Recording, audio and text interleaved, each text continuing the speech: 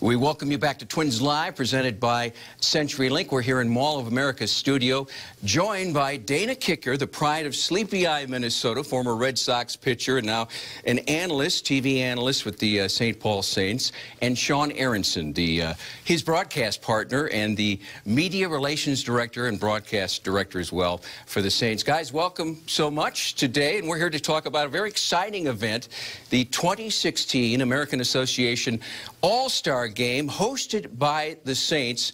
And we're excited to be televising that event August 2nd. Sean, tell us a little bit about the excitement, the fact the Saints are so well represented. Yeah, this is huge, not only for the Saints, but for CHS Field, the award-winning ballpark, uh, you know, that we opened up last year. This is a chance for uh, guys in this league to showcase their talents. Uh, there'll be a number of scouts out there.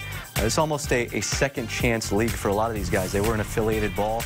Uh, a couple of them were in the big leagues. Obviously, we've got Caleb Thielbar, who pitched for the Minnesota Twins. Um, and so this is the opportunity for these All-Stars to get their chance to showcase their talents and hopefully vault themselves to an organization. What kind of talent might we see at this All-Star game coming up next month, Dana? Uh, um, some of the best in minor league baseball, and I get that question quite often, Tom, you know, is, is independent baseball, is it A ball, is it double A, is it triple A, and it kind of depends upon the night, but you're going to see, you're going to see players probably at the triple A or even the major league level. For instance, uh, Mark Hamburger, a, a, local product. Hopefully he'll be the starting pitcher if the rotation uh, um, sets up properly for him but uh, somebody that's getting it up there about 90, 91, he might hit 93 once in a while. Um, you're going to see guys that have a chance to maybe make it to the major league someday. John, the Saints have uh, hosted the All-Star game before.